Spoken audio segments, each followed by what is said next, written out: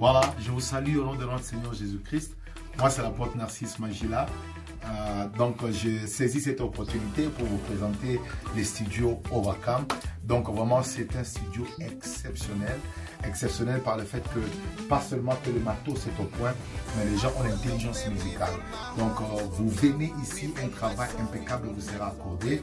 Au-delà de ça, une spiritualité est aussi euh, mise aussi, quoi ça, en exergue. Et nous prions que Dieu puisse vraiment vous accorder cette opportunité de ne pas rater de visiter au Vacam Studio. Donc c'est chez le frère Rigem, ne manquez pas, moi-même j'ai eu à travailler dans ce studio, le son est incroyable, j'ai envie de, de, demeurer ici, mais comme j'ai des obligations, je dois rentrer. Vraiment, je vous invite à venir participer à ce grand travail qui s'est fait ici, que le Seigneur vous bénisse et à la prochaine.